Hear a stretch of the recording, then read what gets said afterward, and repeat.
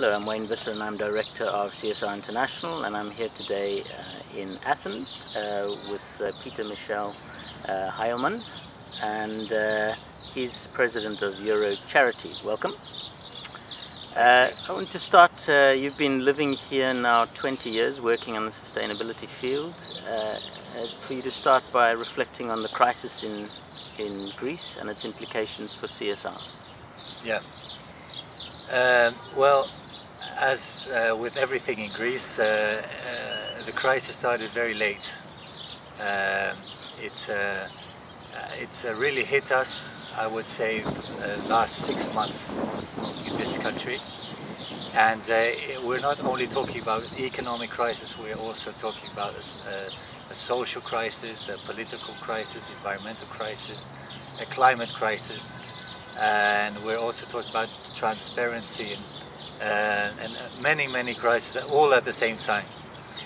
And uh, it's very funny that uh, people, uh, the, the, the, man in the street understands that Greece is going through a, a big crisis, the, the, the, foreign debts and all these sort of governmental issues, but they can really feel the difference in the psychology people have been, it's like a terrorism almost, that people have been bombarded with these negative messages that they have started to, uh, businesses and consumers uh, started not to spend things anymore or not to spend uh, only on the necessary things.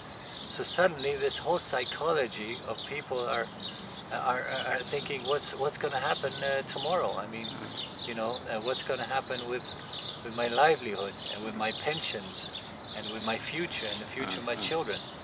So it's really becoming, um, uh, and at the moment it's not just an, a crisis in Greece, it's a, it's a global crisis, but Greece is being used in a way as a scapegoat mm.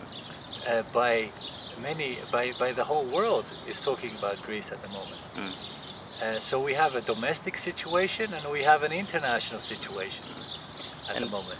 And are there some some good things happening? I mean, there's obviously there are. There's so many good things happening in this country that people are not really talking about, not emphasizing. They're only emphasizing on the negative aspect. You know that the government owes so many billions, or that the that all these Greeks have been uh, stealing all this money. It's not really the, the, the, the, issue at the, at the, moment is that, for example, we're uh, today in a, it's a very sunny day, okay? We can um, use, utilize renewable energy sources. Uh, but this hasn't been used as much as as uh, this country. This country has a huge potential in that. Mm. Okay, not only solar and wind, but also biomass and geothermal, mm. and uh, it has uh, many islands, with wave technology. You know, we can put wind parks on uh, on uh, little abandoned islands that no one's using. Mm. Greece has tremendous potential in that. Uh, also, Greece has many scientists, very intelligent people, and, and have that, that cannot find any work here. So they go abroad and they go and they uh, uh, uh go and work for the best companies on the planet. Mm. You know, uh, the the CEO of Dow Chemical is, is Greek, mm. or, or, you know the the the owner of, uh, of many Silicon Valley uh, companies are, are Greeks. Mm. Uh, you know, so uh, it's not about uh, not having the knowledge; is that this knowledge is not uh, being used properly, mm. and this can be used in a positive way, mm. and for the green economy, and for um, innovation, mm. and for competitiveness. But right now, all of this is not really being promoted. You know, there are many companies that are doing really well uh, in the world uh, who are Greek, uh, but uh, and are really good initiatives and really good scientists mm. and really good projects mm. and great investment opportunities in the green mm. economy mm. that people do not know about. Um, and have you seen uh, the CSR sustainability agenda change in Greece over the last uh, years? Very much so. Uh, I uh, arrived here uh, 18 years ago. I've written a book called Green Pages. It's the first environmental directory for businesses and, and compassionate consumers. And back then, I'll tell you, very few people knew about recycling. Uh, only for the last four or five years, people really know what means recycling. And even today, this is something fairly new and not everyone is doing it.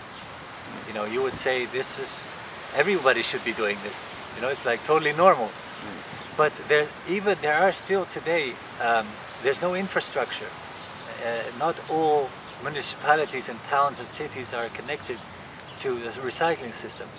So there is a, a, a, a, new conscious. There's a people are getting more and more conscious. The media are talking about it. The, uh, the people are more getting more connected through the internet, through mobile phones, uh, through social networks. So uh, through the schools, they're being taught uh, from from the. Uh, my daughter, who is six, is is learning about uh, such issues at a very early age. Mm. This is a, a, whole new uh, way of uh, educating mm. um, and, and inform informing people. Mm. So we've come a very long way, but still we have a lot to do. We have so many things to, to be done. And this is just Greece. Can you imagine Eastern Europe? Can you imagine other Mediterranean countries? Or can you imagine other European countries? Uh, I think that uh, we have still a lot of things to be done. Still a lot of things to be done that we can do as individuals or as business people mm -hmm. or as social entrepreneurs. Mm -hmm. Well, I wish you good luck with that. Thank you for sharing your thoughts right. today. Okay.